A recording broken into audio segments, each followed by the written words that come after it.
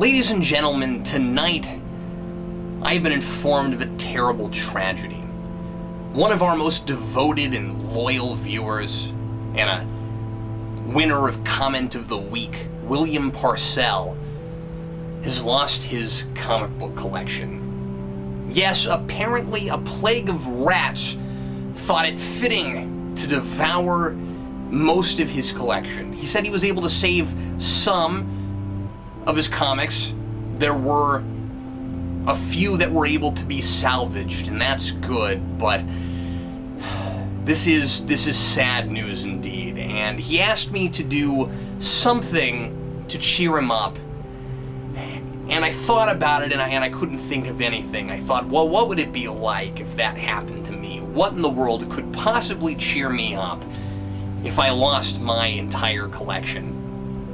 And I decided the most fitting thing to do to pay respect and, and, tribute and to honor how sad this must make a fellow comic book collector like myself would be to hold a funeral for William's comic book collection.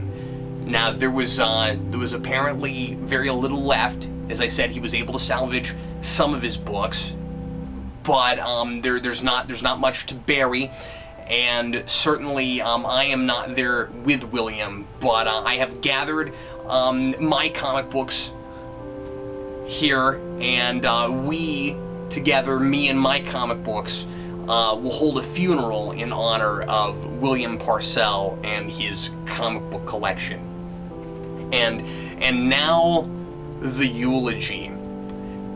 William, I don't know where comic books go when they die. I certainly hope that wherever they are, wherever the souls of your comic books are, that uh, someone in the celestial beyond, in the in the great afterlife, is able to enjoy the books that are no longer there for you. I hope that wherever they are in their afterlife, they will not be susceptible to retconning or awkward reprinting or uh, rebooting or any crisis. And I know that right now you must feel like there's there's no replacing your comic books. But remember that, that comics are just paper put together with staples, and that most of them eventually you'll be able to replace again. They won't be the ones that you had. You know, if you grew up with your comics, they won't be the comics that you grew up with, and that is very sad indeed. And I, uh, and I sympathize, and my heart goes out to you, and in in this in this troubling time. And uh, William, all I can say to you is that I am sorry and uh, I know you will miss your comic books dearly, and that uh, we here at Geekvolution, uh, we we're uh, we're with you in spirit. And now, a moment of silence for William's comic book collection.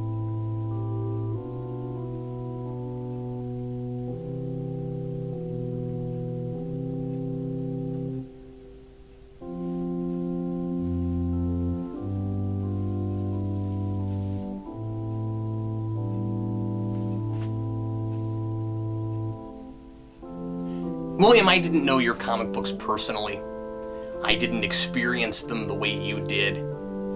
But just remember that there is hope, that there is still a future for you and for your fandom.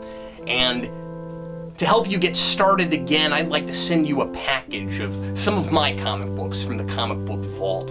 And uh, if you if you wouldn't mind, um, please in a private message send me an address where I might send you a package of a few comic books to get you started again. They can't replace the comics that you loved so dearly, but maybe we can help get you back on your feet again with your comic book collecting. Okay, I know this is ridiculous. Um, William, I hope you don't feel like I'm making fun of you. Uh, I thought the idea of a, a uh, of a funeral for a comic book collection um, might be might be really funny. Uh, but I am I'm not kidding about sending you a package of comics. I'd like to do that to help you feel better. And uh, like I said, I completely um, I can completely relate and sympathize. And um, I have had comics uh, get messed up in uh, in basement floods and things like that. And it's really sad um, when that kind of thing happens. And uh, you know you, you spend all this time amassing a collection and it costs money and, and it's not cheap.